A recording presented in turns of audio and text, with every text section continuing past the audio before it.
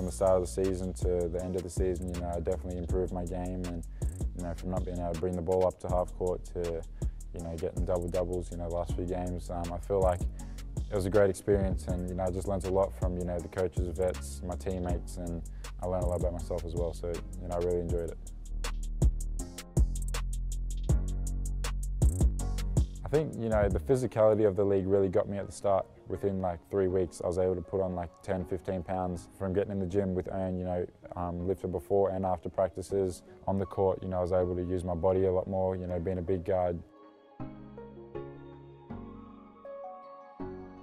On the court, um, from the first game, you know, like I said, um, just being able to bring the ball up the floor, ball handling, you know, I was really struggling. You know, teams were getting near me. I was turning the ball over.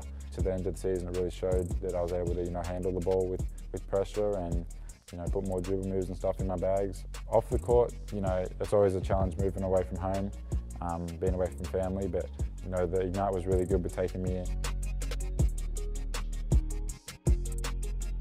It's huge, you know, growing up, you know, it's what I wanted to be. I wanted to be able to play with, with the Boomers and for me just to, you know, be able to, you know, like you said, you know, be one of the faces of Australia one day um, is something I want to do and, you know, I want to have an impact on kids back home and for me to, you know, come here and do what I do and have the, have Australia behind my back supporting me, um, you know, really means a lot and, um, yeah, it just drives me every day to be better.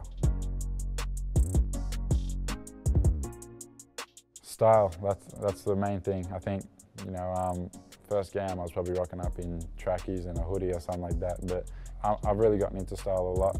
You know, just try new things, be myself, I think, really. You know, I was just, you know, I, don't really have an idea of what I want each day. I just throw it on. If it, if it doesn't look good, then I'll put something else on with it. And apart from basketball, that's something I really want to, you know, pursue.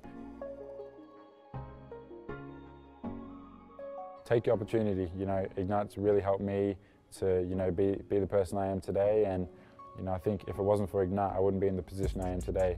Um, make sure that you put in the work and, you know, trust your coaches, trust your teammates, and, um, you know, it'll take you far. Hey fans, it's me, Scoot Henderson. Make sure you guys catch up on all the dunks and highlights on NBA G League YouTube page. Check it out.